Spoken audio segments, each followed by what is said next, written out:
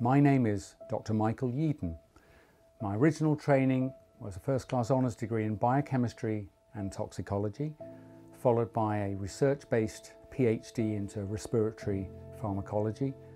And after that, I've worked my entire life uh, on the research side of the pharmaceutical industry, both big pharma and also biotech. My specific focus has been inflammation, immunology, allergy, uh, in the context of respiratory diseases, so the lung, but also the skin. So I would say I'm a kind of a deeply experienced inflammation, immunology, pulmonology kind of research person. I initially became concerned about the, our response to the coronavirus pandemic towards the middle or back end of April, as early as that. It had become clear that if you look at the number of daily deaths versus, versus the date, the pandemic had turned, and really pleasingly already. The wave was fundamentally over, and we would just watch it fall for a number of months, which is what it did. And so I became very perturbed about increasing restrictions on the behavior and movement of, of people in my country. And I could see no reason for it then, and I still don't. Government's response to emergencies is guided by you know, the scientific group who sit uh, together under the Strategic Advisory Group for Emergencies or SAGE. So they should provide scientific advice to the government about what's appropriate to do. SAGE has, has got several fundamental things wrong and that has led to advice that's inappropriate and uh, not only has had horrible economic effects but has had continuing medical effects in that people are no longer being treated properly. SAGE took the view that since SARS-CoV-2 was a, quote, new virus, that they believed there wouldn't be any immunity at all in the population. So I think that's the first thing. I remember hearing that and, and I puzzled because I, I already knew, because I read the scientific literature, that SARS-CoV-2 is 80% similar to another virus you may have heard of called SARS that moved around the world a bit in 2003. And more than that, it's quite similar in pieces of it to common cold causing coronaviruses. So when I heard that there was this coronavirus moving across the world, I, I wasn't as worried as perhaps other people were because I figured that since uh, there are four common cold causing coronaviruses, I figured that quite a lot of the population would be exposed to one of those viruses and would probably have a perhaps substantial protective immunity. And just to explain why I was so confident, everybody knows the story of Edward Jenner and vaccination and the story of cowpox and smallpox and that the sort of old story was that milkmaids had very uh, clear complexions they never suffered from things like smallpox that if it didn't kill you would leave your skin permanently scarred and the reason that they had the protection was that they were exposed to a more benign related virus called cowpox. Edward Jenner came up with the idea that if it's cowpox that saves the fair maid, he reasoned that if he could give another person an exposure to the cowpox, he would be able to protect them from smallpox. Now, he did an experiment that you can't do now, and he never should have done it, but apocryphally or really, or maybe real, we're not sure, Edward Jenner acquired some of the liquid from uh, a person infected with cowpox, relatively mild pustules that then go away. And he got some of this and he he scraped it into the skin of a small boy. And a few weeks later, he obtained some liquid from some poor person that was dying of smallpox and infected the boy. And lo and behold, the boy did not get ill. And that gave birth to the whole field uh, of what's called vaccination. And vax, the vax, it's V-A-C. It comes from vacus, the Latin name for cow. So we are really familiar with the principle of cross immunization. I've thought quite a lot about you know the vulnerable people in in care homes, and there's an awareness that even though people are really careful and using PPE and, and so on, but that's only going to go so far in a in a you know, kind of hothouse environment where people are pretty close together in a care home. So the question I've had all year is once one or two people you know got the virus in a care home, why wouldn't almost everyone get infected? And of course the the truth is they didn't. And one interpretation of that distinction is that a large proportion of people in the care homes had prior immunity. At this time of year, about one in 30 people have a cold caused by one of these coronaviruses. And just like the protection against smallpox provided by previous exposure to cowpox, so people exposed to having had a cold caused by one of these coronaviruses, they're now immune to SARS-CoV-2. So 30% of the population was protected before we start. SAGE said it was zero, and I don't understand how they could possibly have justified that. There's a second and equally fatal, unaccountable error that they have made in their model. The percentage of the population that SAGE asserts have been infected to date by the virus is about 7%. I know that that's what they believe, and you can see it in a document they published in September called Non-Pharmaceutical Interventions, and it says, uh, sadly, more than 90% of the population is still vulnerable. It's unbelievably wrong, and I'm just going to explain why. They've based their number on the percentage of people in the country who have antibodies in their blood, and only the people who became most ill needed to actually develop and release antibodies around their body. So it is certainly true that the people who have lots of antibody were, were infected, but a very large number of people had milder symptoms and even more people had none at all. And the best estimates that we can arrive at is that those people either made no antibodies or so low amounts that they will have faded from now. Recent publication on the percentage of care home residents who have antibodies to the virus. Very, very interesting. This time they were using high sensitivity tests for antibodies. And they carefully picked out residents that never were PCR positive. These were people who never got infected.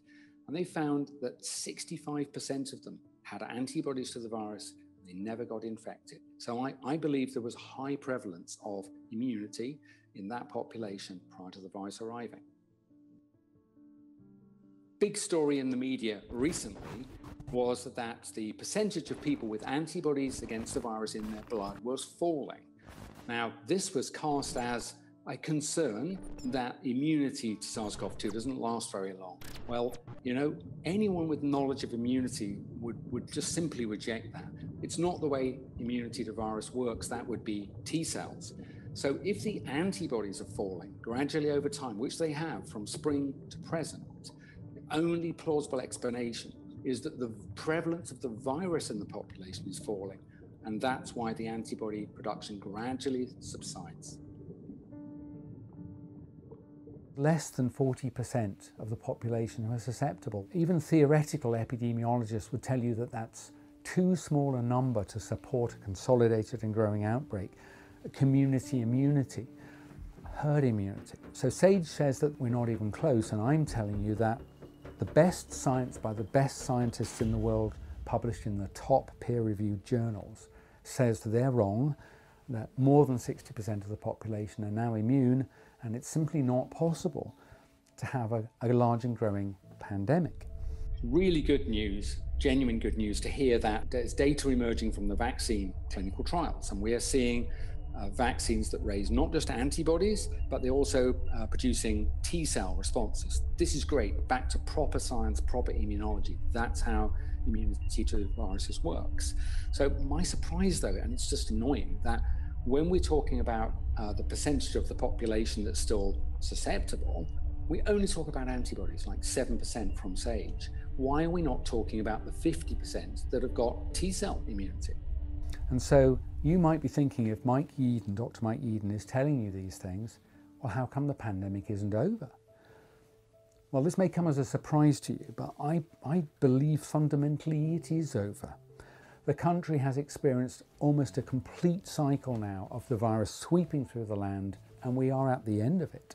London was, was horribly affected in the spring, and somewhere in early April, they were experiencing several hundred deaths per day from people dying with similar symptoms, you know, respiratory failure and uh, inflammation. And at the moment, the number of people dying of SARS-CoV-2 in the capital is less than 10. So it's, it's down by 98% or something like that. And the reason it's down is because there are now too few people in London susceptible to allow the virus to magnify, to amplify, to get an epidemic. And, and they would have been hit by now because they were the first place hit in the spring. And I think what we're seeing now in the northeast and the northwest would be the dying embers of the spreading out of this virus. And I'm very sorry that it is still true that a small number of people are catching it, getting ill, and dying. So, why aren't the media telling us that the pandemic is over? It's not over because SAGE says it's not. So, SAGE consists of very many scientists from a range of disciplines, uh, mathematicians and clinicians, and there are multiple committees. But I found to my surprise, and I'm actually going to use the word horror, that in the spring, all the way through the spring and summer, SAGE did not have on their committee someone who I would call a card carrying immunologist, a clinical immunologist. I have to say, I think that in the spring and summer, SAGE was deficient in the expertise it had. They should have armed themselves you know, with, around the table, all the people required to, to understand what was happening, and they didn't do that. People ask me then, well, Mike, if it's, you know, if it's fundamentally over, why are we still getting hundreds of deaths a day from SARS-CoV-2? uh, and I've thought a lot about this. There is a test that's performed. People have their noses and tonsils swabbed, and then a test called a PCR test is performed on that. And it, what they're looking for isn't the virus. You might think it's looking for the virus, but it's not. What they're looking for is a small piece of genetic sequence. It's called RNA. Unfortunately, that bit of RNA will be found in people's tonsils and nose not if they've just caught the virus and they're about to get ill or they're already ill. It's also going to be found if they were infected previously, weeks or even sometimes a small number of months ago. Let me just explain why that is. If you've been infected and you've fought off the virus, which most people do, you'll have broken, dead bits of virus. These are tiny things, smaller than your cells, perhaps spread all the way through your airway, embedded in bits of mucus, maybe inside an airway lining cell. And so over a period of weeks or months, you bring up cells that contain broken dead pieces of the virus that you have conquered and killed. However, the PCR test is not able to detect whether the viral RNA has come from a living virus or a dead one, as I've just described. So I think a large proportion of the so called positives are, in fact, what I call cold positives. They're correctly identifying that there is some uh, viral RNA in the sample, but it's from a dead virus. It can't hurt them. They're not going to get ill. They can't transmit it to anybody else, so they're not infectious. So that accounts for a large number of the so-called positive cases. These are people who've beaten the virus. Why are we using this test that cannot distinguish between active infection and people who've conquered the virus. This test has never been used in this way, and I've worked in this field. It's not a suitable technique, it's, a, it's the kind of technique you would use for forensic purposes. If you were trying to do a DNA test to establish whether or not a person was at the scene of a crime, you would not be doing these tests uh, by a windy supermarket car park in what looks like plastic marquee tents on picnic tables. It's not suitable at all, and it definitely shouldn't be done in the way it's being done. It's subject to many mechanical errors, shall we say, handling errors. If this was a test being used for legal purposes, for forensic purposes, like a DNA identity test, the judge would throw out this evidence, would say it's not admissible. It produces positives even when there's no virus there at all. We call that a false positive. As we've increased the number of tests done per day, so we've had to recruit less and less experienced laboratory staff, and now we're using people who've never worked professionally in this area. What that does is it increases the frequency of mistakes. And the effect of this is that the false positive rate rises and rises. So if you had a false positive rate of 1%, which Mr. Matt Hancock told us was roughly the number they had in the summer, then if you tested a thousand people that had no virus, 10 of them would be positive, astonishingly. If the prevalence of the virus was only one in a thousand, that's 0.1%, as the Office of National Statistics told us it was through the summer, then if you use the PCR test, only one of them will be positive and genuinely so. But if the false positive rate is as low as 1%, you'll also get 10 positives that are false. Some people did say to me, well, there'll be a higher percentage of people coming forward for testing in the community, so called pillar two testing, because they've been instructed only to come if they've got symptoms. But I call BS on that one. I don't think that's true. I know lots of friends and relatives who've been told by an employer, well, you've sat near someone who's tested positive and I don't want you to come back to work until you've got a negative test. I've seen information uh, from many towns in the north, certainly Birmingham was one, Manchester was another, Bolton, where councils, and I really think they were trying to be helpful, were out leafleting the people of their cities, saying, We're going to come round and swab you all because we want to track down this virus. Now, once you start testing people more or less randomly instead of having symptoms, you get the same amount of virus in the population as the Office of National Statistics found, which is at the time was one in a thousand. And I've just told you, Matt Hancock confirmed during the summer, they had a false positive rate of about 1%. So that means out of a thousand people, 10 would test positive and it would be a false result, and only one would test positive and it was correct. This test is monstrously unsuitable for detecting who has live virus in their airway. It's subject to multiple distortions that are worsening as we get into the winter. As the number of tests done per day increase, the number of errors made by these overworked, not very experienced lab staff increase. I think it's not unreasonable to say a best guess of the false positive rate at the moment, what's called the operational false positive rate, is about 5%. 5% of 300,000 is 15,000 positives. I think some of those positives are real. I don't think it's very many. Now, the problem with this false positive issue, it doesn't just stop at quotes cases. It extends to people who are unwell and go to hospital. So people who go to hospital having tested positive, and it could be a false positive, and I think most of them are at the moment, if you go to hospital and you've tested positive previously or you test positive in hospital, you'll be counted now as a COVID admission. Although there are more people in hospital now than a month ago, this is normal for autumn, regrettably. People catch respiratory viruses and become ill, and some will die. I just don't believe it's got anything to do with COVID 19 anymore. There are more people in intensive care beds now than they were a month or so ago. That's entirely normal as we move through late autumn and into the early winter, those beds become used. Uh, but there aren't more people than is normal for the time of year, and we're not about to run out of capacity, certainly as a national level. But I think you know where this is going now. If you should now die, you'll be counted as a COVID death. But that's not correct. These are people who might have, have gone to hospital having had a broken leg, for example, but they'll 3% of them will still test positive and they're not, they haven't got the virus. It's a, it's a false positive. And if they die, they'll be called a COVID death and they are not. They've died of something else. One of the most troubling things I've heard this year was Mr. Johnson telling us about the moonshot. Testing everybody often, maybe every day, is the way out of this problem. But I'm telling you, it's the way to keep us in this problem. That number of tests is orders of magnitude higher than we're already testing now. And the false positive rate, however low it is, will be far too large to accept. It will produce an enormous number of false positives. What we should do is stop mass testing. Not only is an affront to your liberty, it will not help at all, it will be immensely expensive and it will be a pathology all of its own. We'll be fighting off stupid people mostly government ministers, I'm sorry to say, who, who are not numerate and do not understand statistics.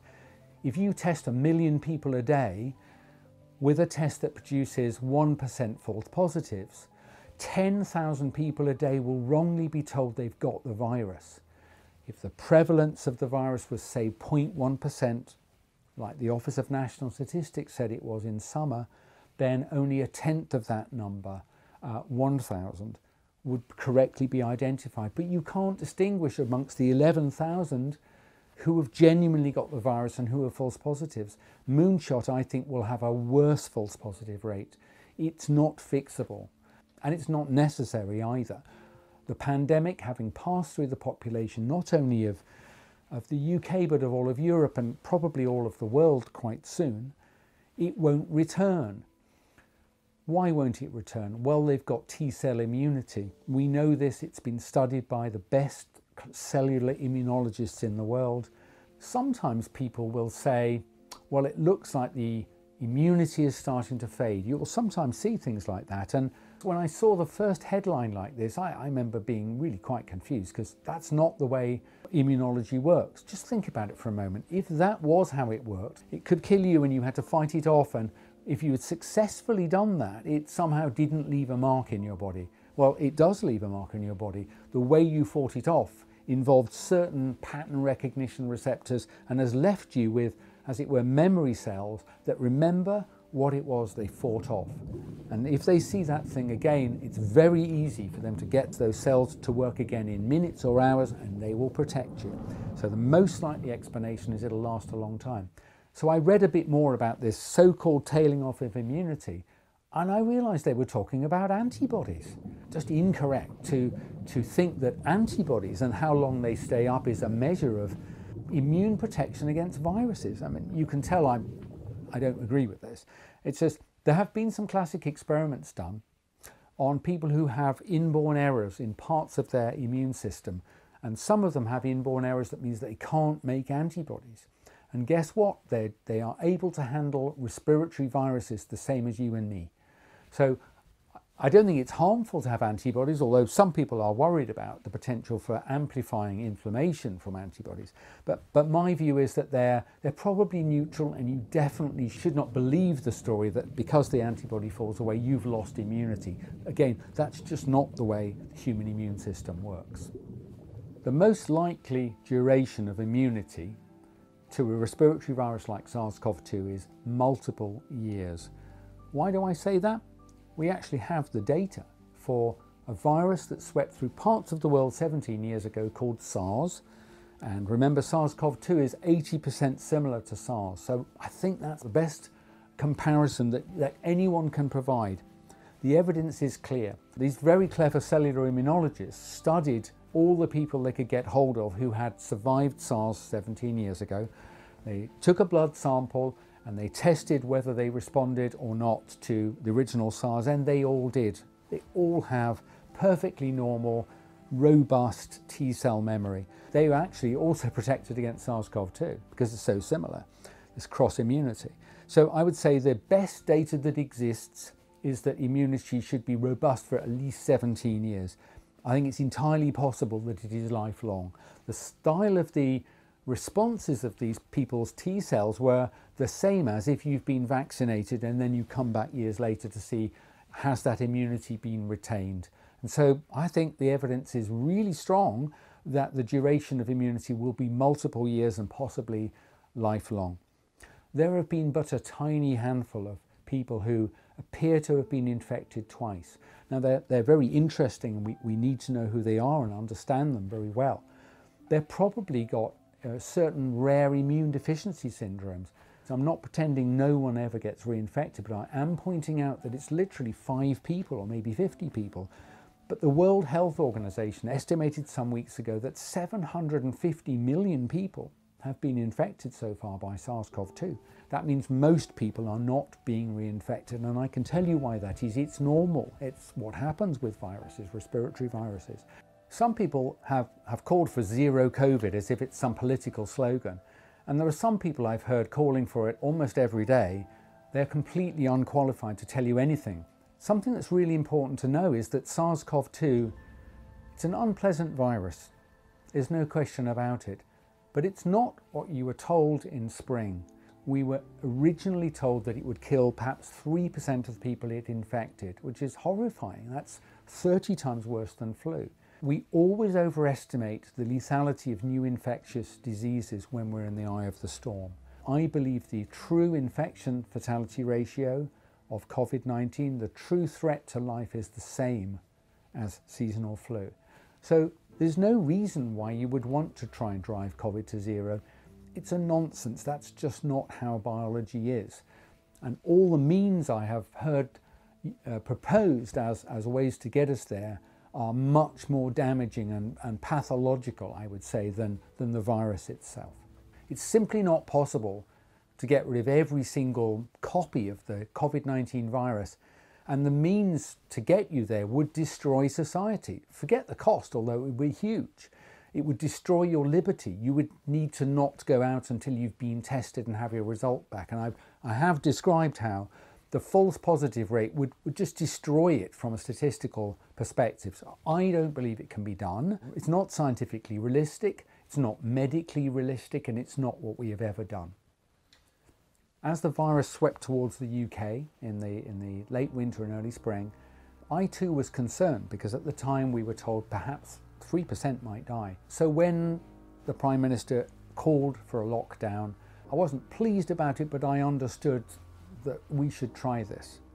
But it's important that you understand that when we look at the profile of the pandemic as it passed through the population, that it was clear that the number of infections every day was falling. We'd passed the peak quite a long time before lockdown started. So we took all that pain, that lockdown pain, which was multiple weeks, I don't remember exactly how many, multiple weeks, we took it for nothing. If there was a really important effect of lockdown on the number of people who died or the rate of it, you should at least be able to order them like these people had lockdown and these didn't. And you cannot. All heavily infected countries' shapes are the same, whether they had lockdown or not. They don't work. I don't know why anyone is allowing you, know, you to be pushed into this corner. I don't think we entirely know why it is that some countries were hit harder than others. But I have to say, I think scientifically the smart money is on a mixture of forces. One would be this cross immunity. Although China had an awful time in Wuhan, in Hubei province, it didn't spread elsewhere in the country. And I suspect that meant because a lot of them had this cross immunity. And I think nearby countries in the main had lots of uh, cross immunity. So that's one possibility. Uh, the other one, though, is uh, in terms of the severity of uh, what did the virus do to a particular population. We've seen devastating effects in countries like UK uh, and in Belgium, uh, France, and maybe even in Sweden, and much smaller numbers of deaths in other countries like, like Greece and in Germany. And you might think, well, was that what it was it something that they did?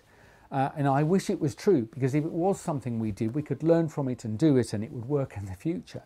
But there's no evidence whatsoever that it was anything humans did. The passage of this virus through the human population is an entirely natural process that completely ignored our puny efforts to control it. So there is this theory, I don't like the name very much, but it's called dry tinder. If people uh, in a country who are vulnerable for, to dying in the winter, usually of respiratory viruses, if you have a very mild winter season, like UK did. We had a very mild seasonal flu last year and the year before, and so did Sweden. Uh, then what happens is there are a larger number of very vulnerable people who are even older than usual, and, and, and I think that's why we suffered a rather large number of deaths. It was still only 0.06% of the population, equivalent to about four weeks of normal mortality. But countries that had very severe winters recently, and Greece and Germany certainly had very lethal winter flus in the last two years. I think then they had a smaller population of very vulnerable people, and that is the main reason why they lost fewer people. It's not to do with locking down, it's not to do with testing or tracking or tracing. I, I personally don't think any of those measures have made any difference at all. So Belgium and UK and Sweden were particularly vulnerable. Whereas adjacent Nordic countries, I, I get fed up with hearing about this uh, idea that they locked down and that's why it saved them. I'm afraid the other Nordic countries had normal flu epidemics the last two or three years. Sweden, like UK, had very mild epidemics. You can just go and look at the number of deaths. It's subnormal for UK and Sweden, and now we've got a supranormal, a larger than normal number of deaths from COVID. Now, there may be other reasons, I'm not saying there are not, but I think those two main forces, the amount of prior immunity and the so-called dry tinder, what vulnerable fraction of the population did you have as a result of seasonal flu being intense or not, I think that accounts for most of it. And it's, it's just hubristic and, uh, and, and kind of silly that our government and advisors tell you that doing things that have never worked in the past, like lockdown, are going to make any difference to the transfer of respiratory viruses. I don't believe it for a moment. There's no scientific evidence behind it. And there are much stronger scientific hypotheses that do explain it. You might think that in terms of numbers of deaths, excess deaths, that uh, COVID has produced such a large number that this will be an awful year for excess deaths. But surprisingly not. 2020 is lining up to be about eighth in a list since 1993. Roughly 620,000 people die every year in this country. They say in life we are also in death, and it's true. It's been awful for those who've been personally affected by illness and death, but it's not particularly unusual in terms of the number of people who've died. So one of the things I've noticed has happened in, in recent years is that we almost seem to be moving uh, you know, post-science, post-fact, as if, as if facts don't matter. For someone who's qualified and practiced as a professional scientist for 35 years, uh, I think it's deeply distressing that I don't think you should listen to me if I talked about, I don't know, uh, the design of motorways or something like that. I don't know anything about motorways or, or how to grow trees better. I don't know anything about that, but I do know quite a lot about immunology, infection, inflammation, and the way in infectious organisms move through a population. I've no other reason for giving this interview other than I really care what happens to my country. And we have to pull ourselves out of this. And I personally believe the way forward is twofold. It's not difficult. One, we should cease mass testing of the mostly well in the community immediately. It only provides misleading and grey information, and yet we're driving policy almost completely based on it. It's definitely wrong, should not do it. Use the tests in hospital. I'm not saying don't test. Don't continue mass testing, and for God's sake, don't increase the number of tests. It is a pathology all of its own, which must be stamped out by right thinking people.